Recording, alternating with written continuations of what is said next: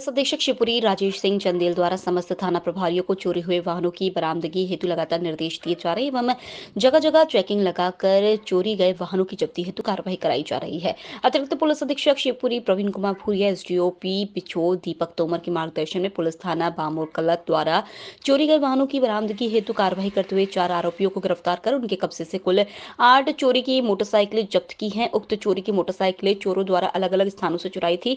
थाना प्रभारी बामोर कला द्वारा मुखबिर की सूचना मिली कि ग्राम बुढ़ेरा में तालाब के पास तीन लोग चोरी की मोटरसाइकिल बेचने के लिए खड़े हैं। उक्त सूचना पर कार्रवाई करते हुए थाना बामोर कला पुलिस द्वारा ग्राम बुढ़ेरा में तालाब के पास दबिश देकर तीन लोगों को पकड़कर उनसे पूछताछ की गई, जिसमें उक्त तीनों लोगों ने मोटरसाइकिल की चोरी करना स्वीकार किया। उक्त मोटरसाइकिल एवं चोरों को थाने पर लाकर पूछताछ की गई, जिसमें उनके द्वारा बताया गया कि उन्होंने अपने एक अन्य साथी के साथ मिलकर थाना खनियादाना पिछोर बामुर कला एवं जिला गुना अशोकनगर से कई मोटरसाइकिल चोरी की है एवं चोरी करने के बाद चुराई हुई मोटरसाइकिलों को आपस में बांटने की बात भी स्वीकार की है।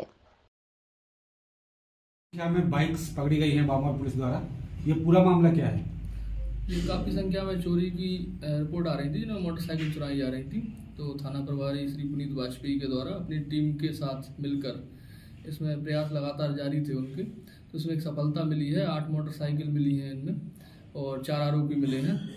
और इनका यही काम रहा है। पहले भी इन पे अपराध पंजीबद्ध है। सर अभी जो अपराधी पकड़े गए हैं क्या संख्या कितनी संख्या रही है और कितनी बाइक्स कहाँ कहाँ से ये चार आरोपी हैं इसमें। लाखन यादव है बेलवावड़ी का है कल्ला यादव सिमलार का है और शोभाराम जाटव महेश लोधी ये राजापुर के हैं। इनके से आठ बाट बाइक बरामद हुई है जिनमें अलग अलग थानों में खनियादाना में भी अपराध पंजीबद्ध है पिछोर में भी है। और थाना बबीना का भी सामने पता लगवाया तो उसमें भी आया है।